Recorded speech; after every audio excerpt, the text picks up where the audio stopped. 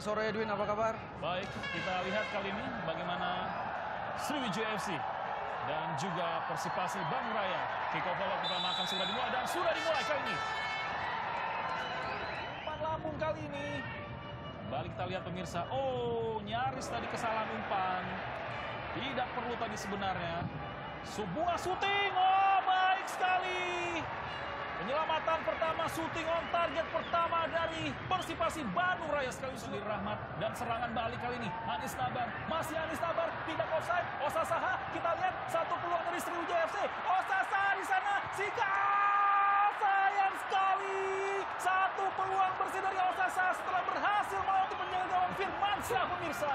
Nyaris saja tadi membuat Sasa melakukan overlap Anis Nabar masih mampu. Oh, berhasil melewati kali ini. Anis Nabar, kita lihat satu umpan terobosan. Berbahaya. Apa yang terjadi? Ah, nyaris tadi. Harus ada komunikasi di sini, Imran. Ya, Kita betul, lihat. betul. Saya pikir di situasi-situasi seperti ini yang dibutuhkan adalah komunikasi.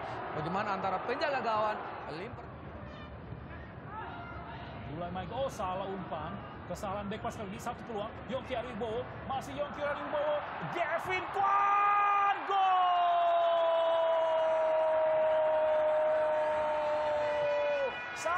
Kesalahan di mana Yongki Aribowo berhasil memberikan sodoran umpan terupas yang tidak disia-siakan oleh Gavin Kwan Asif membuat Persipasi Bandung Raya unggul 1-0 Saksikan sebuah gol.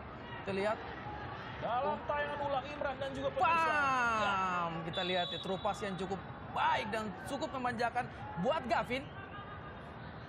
dengan ketenangan dan sebenarnya sudah berhasil di eh, mengenai tangan dan kita lihat mampukah Ferdinand Sinaga sudah dilakukan. Baik sekali. Oh on target tadi. Satu shooting keras. Rahmat tim Jeffrey kali ini melebar dia. Ibrahim Conte terbuka ruang. Ibrahim Conte!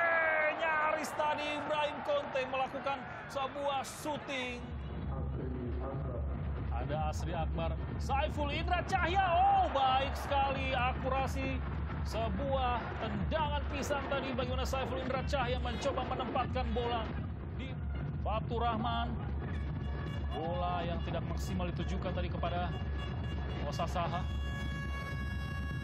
Kita lihat bertubi-tubi terus menekan menguasai bola. Osasaha baik sekali. Aris Tabar! Gol!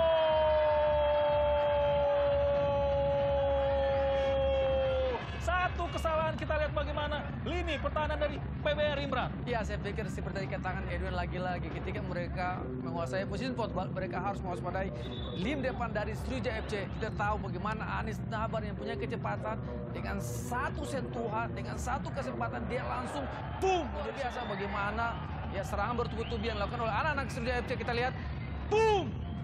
Gol Luar biasa, ya. Kita lihat Anis Nabar yang naik dari lini tengah, tidak offside memang. Menempatkan di sudut sebelah kiri tiang gawang. Cerdik sekali, cukup tenang, finishing yang berkelas kali ini. Membuat Sriwijaya FC berhasil menyamakan kedudukan menjadi satu-satu. Ekspresi dari Patri Wanggai kita lihat di sini.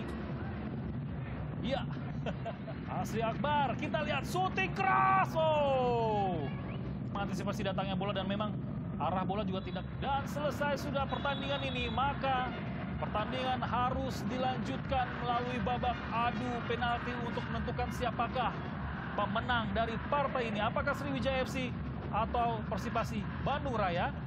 Pernah bermain di klub-klub besar Indonesia, Persija Jakarta, Edwin. Ya, kita lihat Leo Tupamahu di sana bersiap.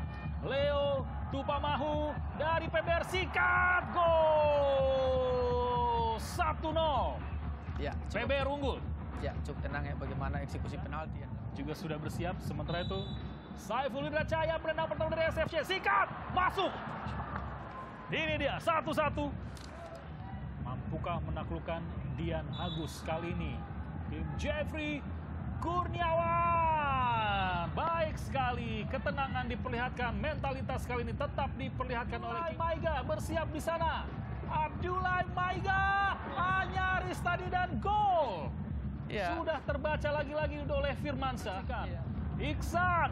Iya. Oh, gagal. Iksan gagal kali ini pemirsa. Sayang sekali dia punya kesempatan untuk membuat unggul. Wildansyah keluar pemirsa. Wildansyah eksekutor siap di sana Safriza. Kita lihat sikat Safriza gagal lagi. Luar biasa Dian Agus. Luar biasa pemirsa. Bagaimana antisipasi? Iksan Kurniawan masuk. 3-2 Sriwijaya FC unggul. Hanif Abdul Rauf menyamakan kedudukan. Hanif dan selesai sudah Sriwijaya FC berhasil memenangkan pertandingan ini untuk menjaga peluangnya lolos sebagai salah satu peringkat ketiga terbaik pemirsa. Kita lihat kegagalan yang sangat disayangkan dari kubu Persipasi Bandung Raya.